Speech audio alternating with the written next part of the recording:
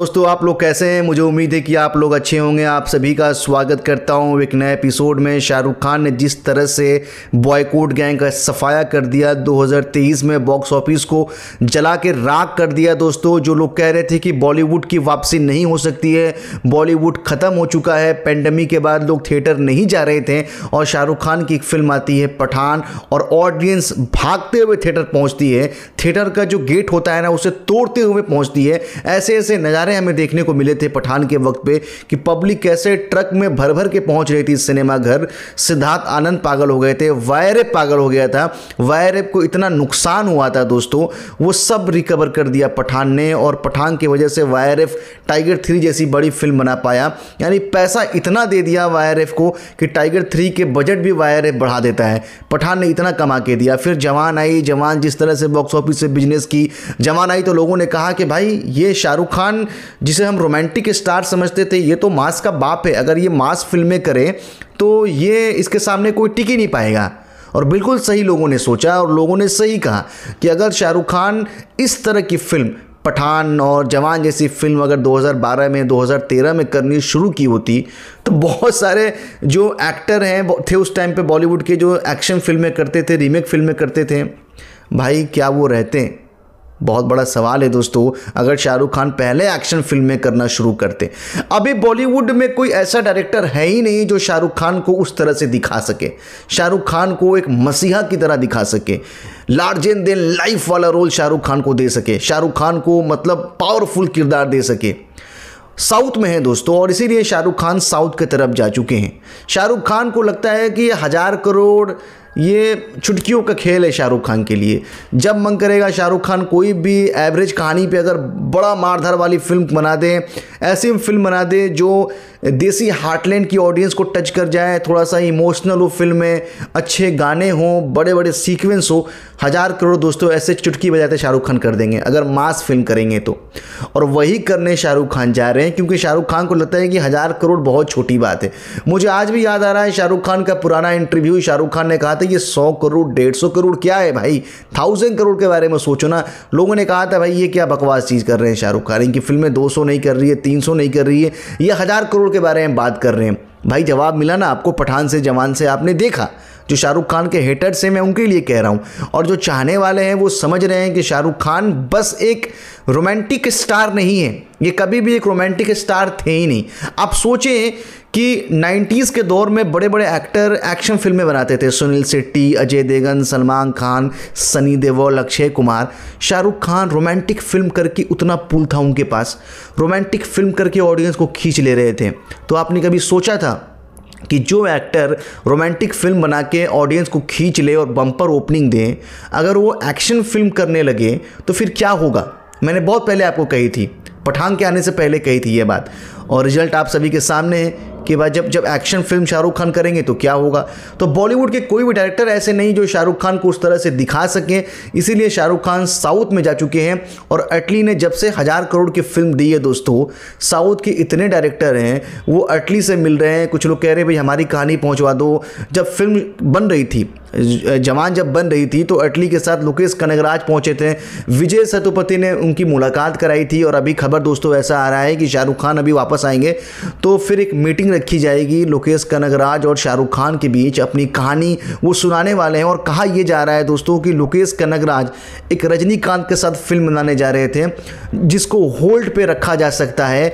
ये दोस्तों बहुत एक्साइटिंग न्यूज़ है, जितने भी सारके के फैंस हैं कि रजनीकांत वाली फ़िल्म को ले, कुछ स्क्रिप्ट को ले, कुछ ना कुछ रजनीकांत और लोकेश कनगराज के बीच कुछ कहते हैं ना कि बातचीत इस तरह से नहीं बन पा रही है, क्योंकि रजनीकांत वाली जो फ़िल्म लोकेश कनगराज बना रहे हैं, ये भी फ़िल्म शाहरुख खान को ऑफ़र की थी।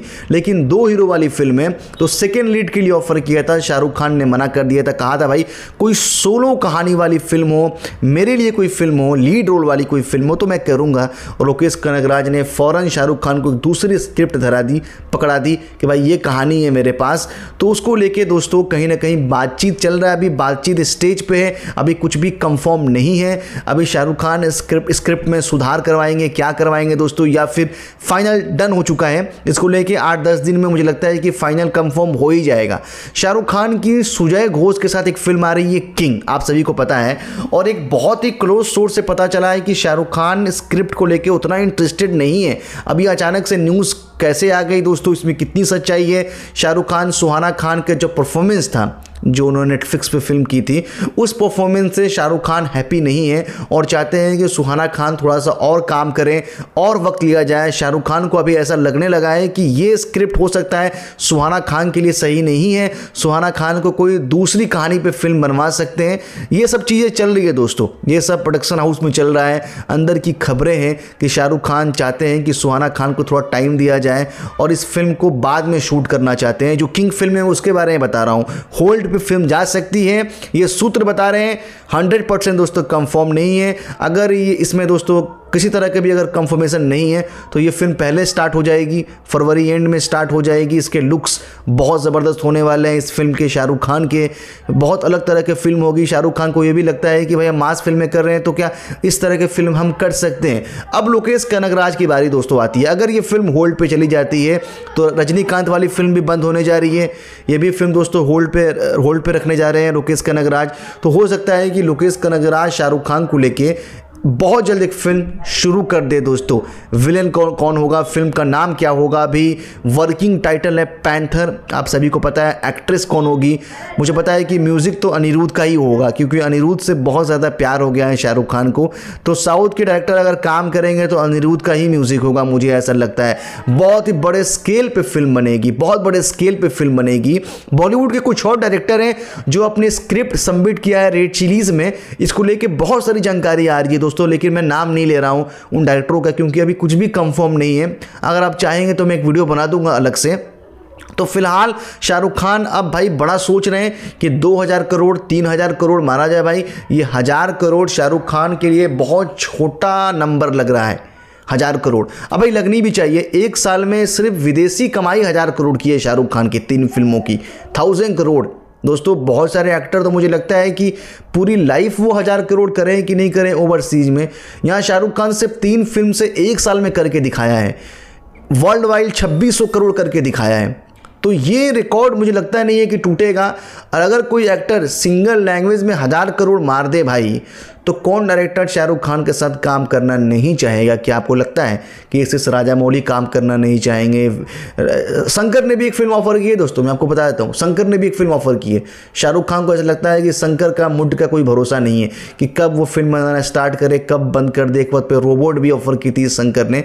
शंकर ने एक अंडर वाटर वाली फ़िल्म ऑफ़र की थी शाहरुख खान को। शाहरुख खान के ऊपर है कि उन्हें कौन सी फ़िल्म शुरू करनी है, कब कौन सी फ़िल्म, किस समय करनी है, वो शाहरुख खान को पता है, चाहे राज एंड डीके की फ़िल्म होल्ड करके रखी है फारा खान लिख रही हैं, और सुजय घोष के बारे में तो आपको पता ही है।